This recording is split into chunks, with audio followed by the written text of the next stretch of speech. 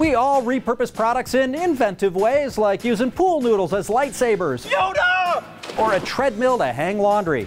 Consumers, we actually have a lot of say in what brands really end up becoming. Hero branding expert Ellie Craig says our unexpected uses can change how a product is marketed. There's a lot of brands out there that are used today not the way they were originally intended. We're running down products we're using wrong, or at least differently from their early marketing. First up, there's Latisse Eyelash Growth Serum. Having fabulous eyelashes is a thing that all the ladies love right now. To a crazy degree. Hey, Cardi B, are those eyelashes or are tarantulas squatting in your eye sockets? But Latisse, the well-known eyelash growing serum, wasn't originally meant for that. Latisse was originally meant for glaucoma. Next, you'll try to tell me marijuana is for getting high. And they realized that these people who had glaucoma have really fabulous eyelashes all of a sudden. And therefore, Latisse got rebranded away from the glaucoma market and into the eyelash growing market. And it also works for eyebrows, which might help some people who seem to be using a Sharpie to draw eyebrows on with a protractor. Next up, bubble wrap.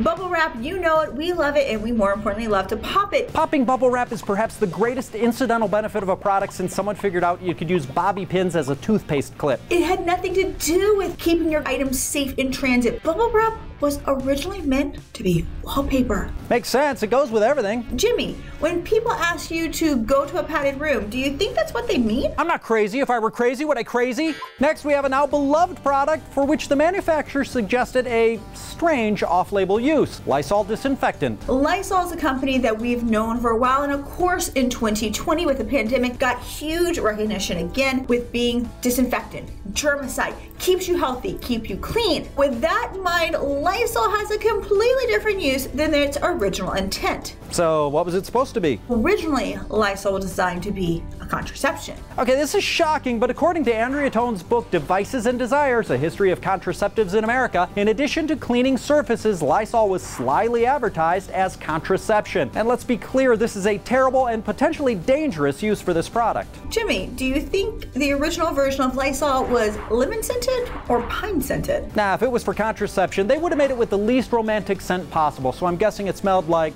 Adam Driver after weeding his garden. Let's wrap up with an iconic American product, Coca-Cola.